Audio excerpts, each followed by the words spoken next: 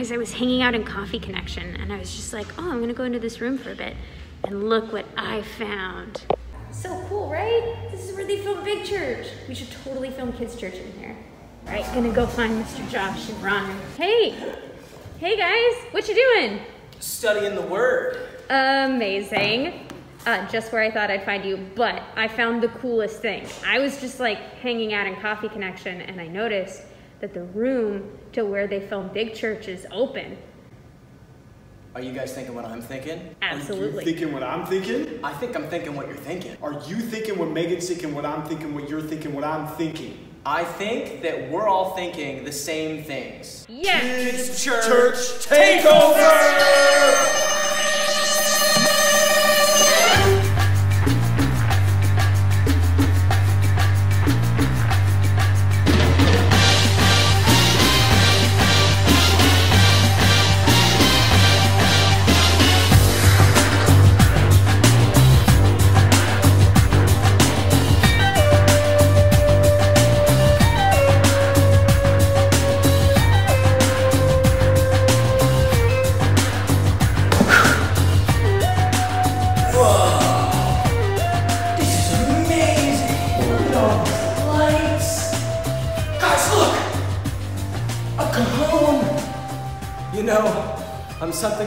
Cajon aficionado.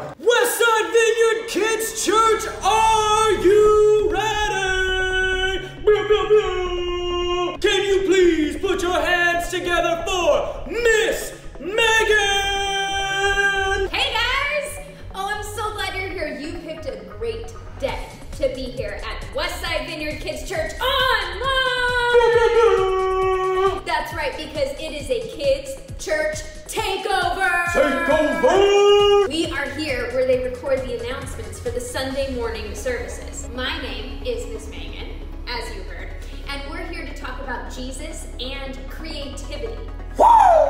Creativity is imagining what you could do because you're made in God's image. God made each of us in His image. He made us to be like Him. That's what I'm talking about. We can use the creativity He gave us to make a difference in the world around us. Speaking of creativity, let's play a creative game. All right. I really love to be creative in the kitchen, especially when I'm baking. Two ingredients I use often are sugar and salt. Now, they look a lot alike, right? But they taste really different, don't they? Oh yeah. If you mix them up when baking, it could be a real problem. Actually, a lot of foods use sugar and salt. What? But you've got to have the perfect amount of each to get just the right flavor. For this game, I'll name some foods someone might make. And I want you to vote if you think the recipe calls for more sugar or more salt. If you think the recipe uses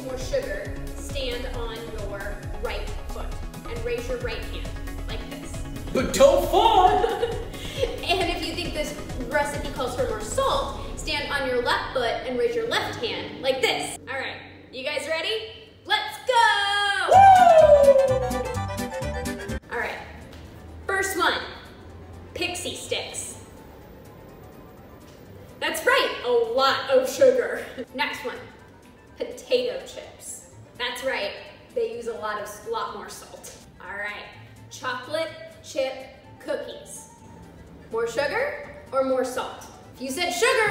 You are correct. Easy. All right, next one's one of my personal favorites, guacamole. Guacamole. Hmm, what do we think? Sugar, salt? If you said salt, you're totally right. Ah, I got that one wrong. All right, how about a big fat pretzel? That's right, salt. How about roasted broccoli? Yeah. Okay, controversial opinion, but I very much like roasted broccoli. The correct answer is salt. All right, and how about some ketchup? This one might be tricky. If you guess sugar, you're correct. Are you kidding me? There's a ton of sugar in ketchup. That was so much fun, you guys. You were all really good at that game. Who knew that baking could be so creative? Creativity. Speaking of creativity, Jesus always found really creative ways to teach people. Our history is about one of those times. But before we get to it, it's time to sing! Oh, yeah! Hey, you guys, we're at the Big Church Worship Team setup. It's always so fun to sing and worship God with all of you. Now, we're not actually going to sing and play instruments, at least on camera, but it is the kids' church takeover. So we need to take over the worship team area too. Woo! Yeah. We get to shine God's light everywhere we go, each and every day. We can share His love with the things we do and, and the things that we say. Sing this with us. You can make your own motions or, or just sing the words, but we want you to get up off that couch and praise God with us. So get up and let's do it.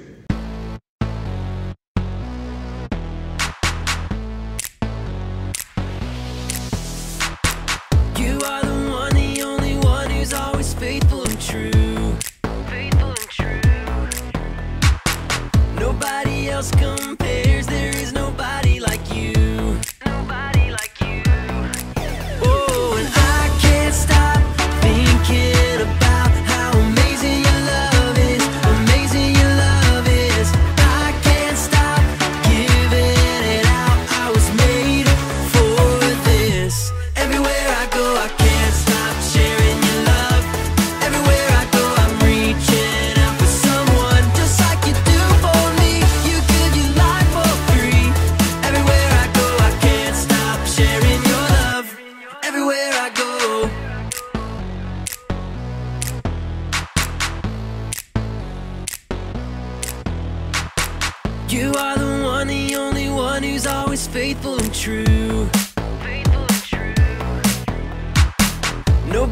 else go.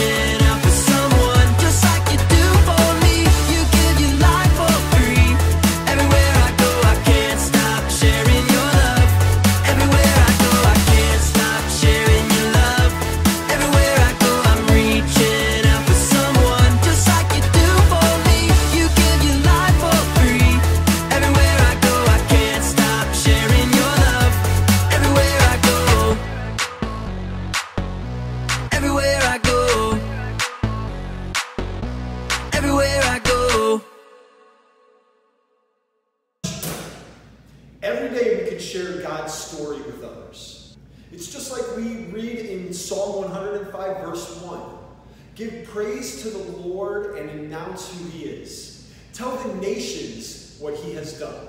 We can show others how great God is by the way we live every day. Let's sing and worship him right now.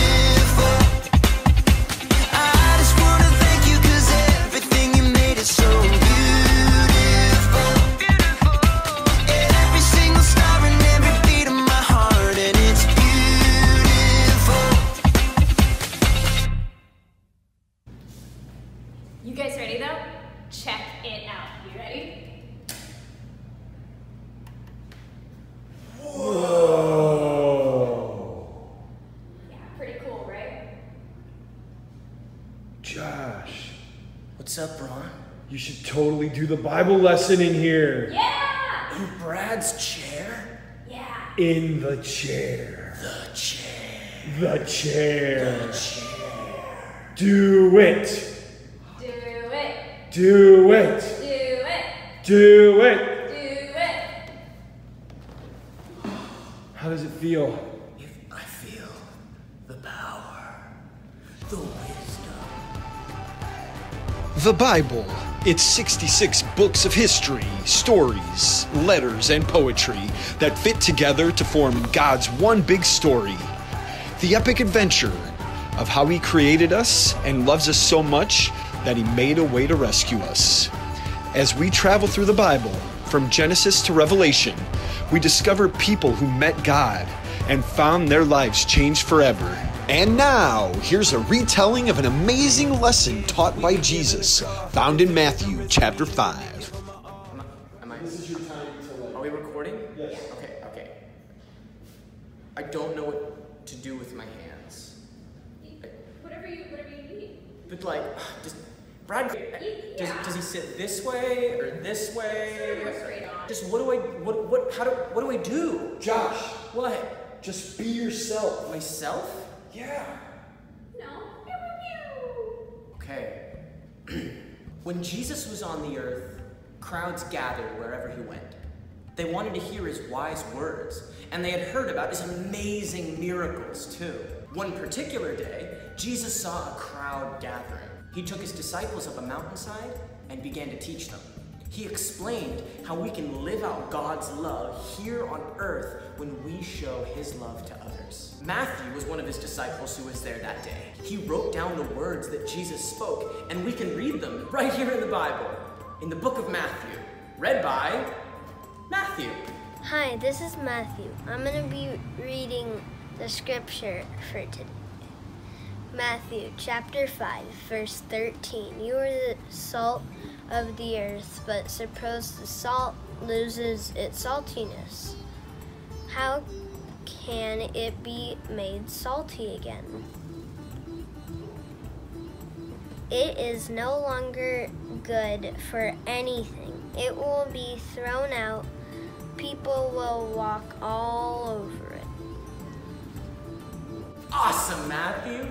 And I heard you just turned eight. Happy birthday, dude. Let's see what else Jesus had to say. And here's Nicholas to pick up in verse 14.